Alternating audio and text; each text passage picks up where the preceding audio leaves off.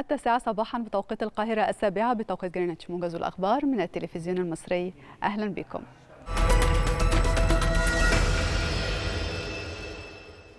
أكد الرئيس عبد الفتاح السيسي أن مصر تمتلك الآن منشآت رياضية تليق بمكانتها وشعبها وأصبح لديها مدينة أولمبية عالمية لاستضافة جميع البطولات والمسابقات الدولية طبقا لمعايير الاتحادات الدولية.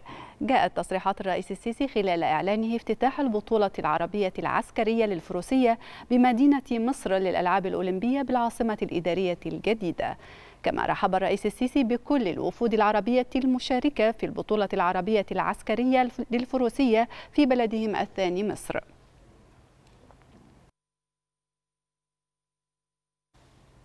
واصل جيش الاحتلال الإسرائيلي قصفه العنيف على مناطق متفرقة بقطاع غزة. وأوضحت مصادر فلسطينية أن قصفا استهدف منزلا في منطقة الدعوة بمخيم النصيرات وسط قطاع غزة. أسفر عن وقوع شهداء ومصابين.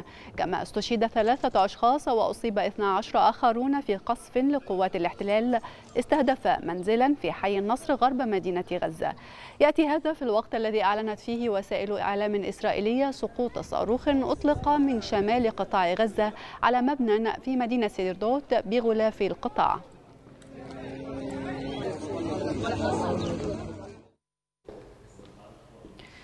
يجتمع مجلس الحرب الإسرائيلي اليوم للتوسع في نقاش أفكار جديدة بشأن صفقة للمحتجزين. وأوضح موقع أكسيوس عن مسؤول إسرائيلي رفيع أن مناقشات مجلس الحرب الداخلية ولا تعني تقديم مقترح جديد للوسطاء.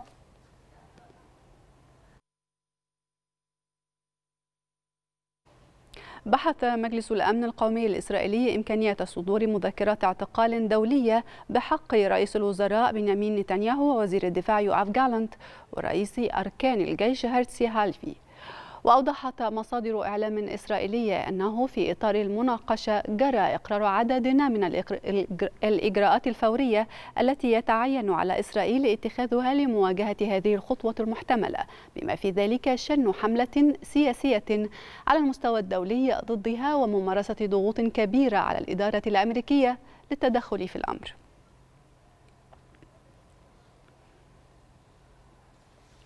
تظاهر آلاف الإسرائيليين في شوارع القدس المحتلة للمطالبة بإبرام صفقة تبادل للمحتجزين. وخلال التظاهرة وقعت اشتباكات مع عناصر الشرطة الإسرائيلية كما طلب المتظاهرون باستقالة حكومة رئيس الوزراء بنيامين نتنياهو لفشله في تحقيق أهداف الحرب.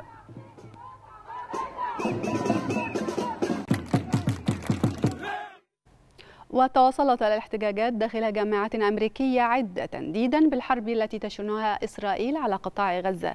إلى هذا قالت المتحدثة باسم البيت الأبيض كارين جان بير إن الرئيس الأمريكي جو بايدن يؤمن بأن حرية التعبير والنقاش وعدم التمييز أمور مهمة في الحرم الجامعي. ومن جانبه وصف رئيس الوزراء الإسرائيلي بنيامين نتنياهو الاحتجاجات المؤيدة للفلسطينيين في الجامعة الأمريكية بأنها مروعة. قائلا إنها يجب أن تتوقف.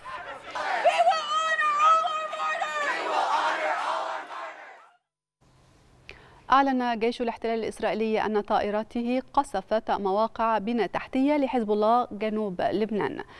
يأتي ذلك بعدما أعلن حزب الله أنه استهدف موقع رويسات للعلم في تلال كفر شوبة اللبنانية المحتلة بالأسلحة الصاروخية. كما استهدف مستوطنة شميرة بعشرات الصواريخ وذلك في إطار الرد على اعتداءات الاحتلال الإسرائيلي على الكرة الجنوبية.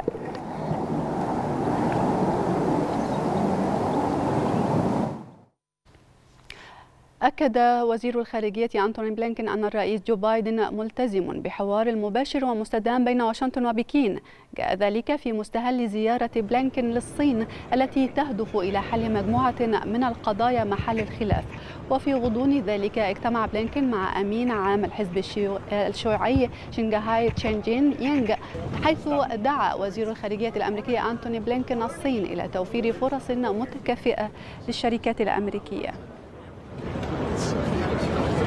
In 98, the skyline was basically construction the.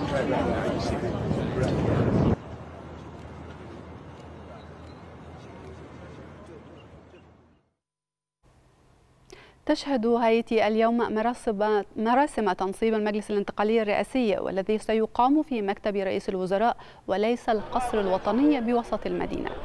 يأتي ذلك غداة اندلاع حريق بالقرب من القصر الوطني في العاصمة بورت أو برنس وجاء ذلك القرار من رئيس الوزراء المنتهية ولايته أرييل هنري في بيان إثر تعرض القصر الوطني لنيران متكررة من العصابات المسلحة في الأيام الأخيرة. ويصر أحد رؤساء العصابات على أن المحادثات بشأن المستقبل السياسي لهايتي يجب أن تشمل العصابات.